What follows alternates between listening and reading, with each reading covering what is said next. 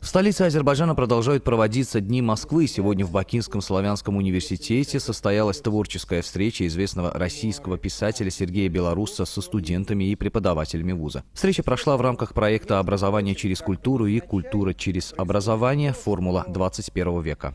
А вообще, как, конечно, автору было бы интереснее, чтобы он был представлен вот всей гаммой того, что он делает, а это, конечно, стихи-парад. По словам самого писателя, такие визиты очень важны и нацелены в первую очередь повысить популярность русского языка в странах ближнего зарубежья, а также способствует возрастанию интереса к русской литературе. По словам секретаря Союза писателей Москвы, между Азербайджаном и Россией существуют давние и тесные связи. Они проявляются как в деловой плоскости двух стран, так и в культурном отношении. И поддержать такие отношения крайне важно именно посредством образования. Писатель считает, что именно через молодое поколение, в особенности студентов, возможно навести новые мосты сотрудничества и сохранить то, что уже объединяет Азербайджан и Россию. Ведь именно частые встречи, совместные обсуждения позволят узнать русский язык еще более глубокого уровня. Впрочем, писатель отметил и то, что, побывав в Азербайджане, был даже приятно удивлен, цитата, «здесь большинство людей говорят на русском языке практически как на родном». Ну и, пользуясь случаем, Белоруссов также подарил студентам свои книги под названием «Год кота и тигра» или без названия и